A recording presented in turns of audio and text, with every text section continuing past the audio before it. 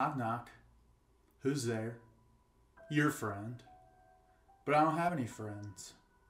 That's a poem by Dr. Steve Brule. What's going on, everybody? So I'm back today to do another review, as I normally do, amidst my chaotic last semester of film school. I've been trying to fit in as many movies as I possibly can. I'm also reading a lot of books. Highly recommend if you are into reading and you're a fan of the horror genre, check out Christopher Triana and Grady Hendrix. They both write some really fucking incredible books that if you're in love with horror, I would just go check read everything they've ever written. I read all of Grady Hendrix books and I'm like halfway through Christopher uh, Triana's catalog. So if you're into horror, check it out. So as I normally do, I scrolled through Shudder when they uploaded some new films, and I decided to watch one solely based on the poster. And the film that I'm going to be talking about today is Knocking. Knocking is directed by Frida Kempff and stars Cecilia Milocco as Molly, a woman who leaves a psychiatric ward after a nervous breakdown only to start hearing mysterious knocking sounds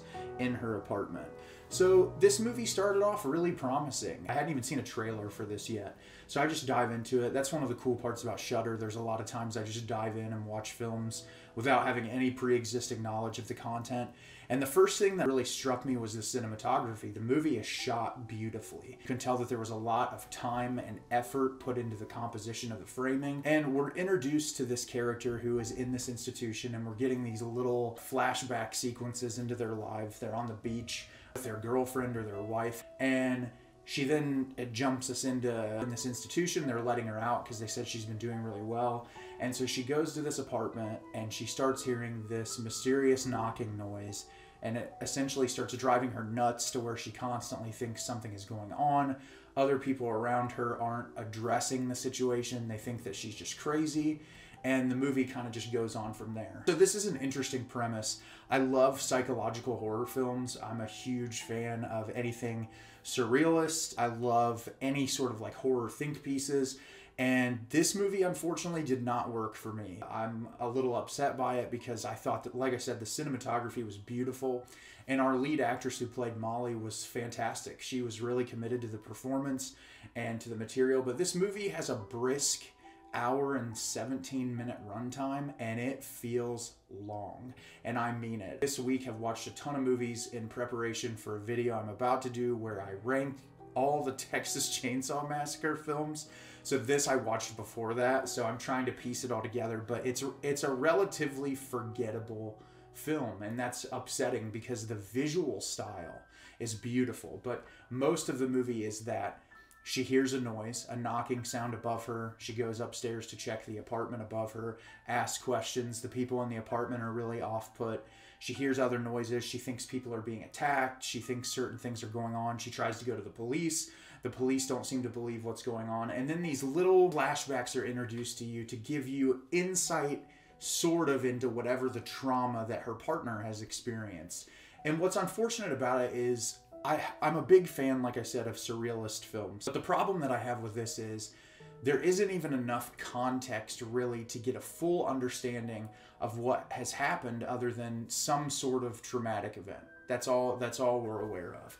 And I feel like this is a movie that could have benefited a little bit more from diving into that trauma a little more because the film is so reliant on this idea of creating spooky atmosphere where you hear knocking noises and our character is shocked and upset by it you need a little bit more depth there to keep me interested. And that's where I think this movie falls short because even as far as the sound design is concerned with this film, it's not really all that impressive. And for a film that's all about our lead character being sort of off put and struggling with this idea of hearing these noises and thinking that there's something larger at play, you, you really would focus heavily on the sound design, but it's it's nothing super impressive. And I think that's what disappointed me the most was that with how beautiful this is shot, and I mean it is beautiful. The visuals in this movie are incredible to look at, especially what I was really impressed with with the visual style is a lot of this film is shot in one location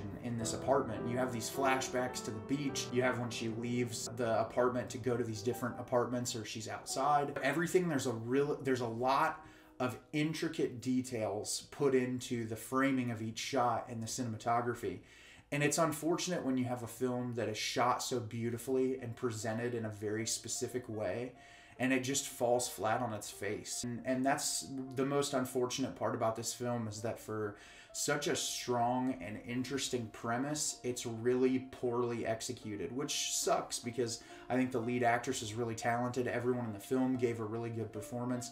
It's just relatively bland and forgettable, which I hope that if this filmmaker makes something else, I will definitely watch it because I think that the visual style alone is worth the runtime, but it's definitely not one I could go around recommending to people just because for such a brief film, it is relatively bloated. So that's my thoughts on Knocking. I don't have a lot to say about it because it was so forgettable. It is on Shudder right now. If you're looking for a uh, a film with really pretty cinematography but not much else going for it, then I'd say it's for you. But otherwise, I would skip over this one. It's definitely not worth your time. So, have you seen Knocking yet? Did you love it? Did you hate it?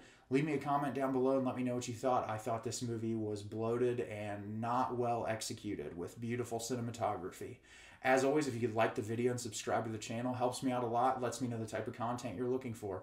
I recently uh, got uh, 1.5 thousand views on my worst person in the world video, which was really exciting to me. I've been posting content regularly since the month of October last year, and it's been really great to see so many people engage in the channel, leave comments, constantly seeing similar people talking on my videos. It just means a lot to me that you all take time out of your day to listen to my opinion because I love movies and I have fun talking about them. And I think my opinion isn't the only one that's valid. You have a valid opinion, and I like hearing what you have to say because a lot of times I'll get uh, some opinions on films and I'll go back and watch it, and it helps change my perspective. And I think that's the coolest part about movies as a whole. And as always, everybody, thank you so much for watching and have a great rest of your day.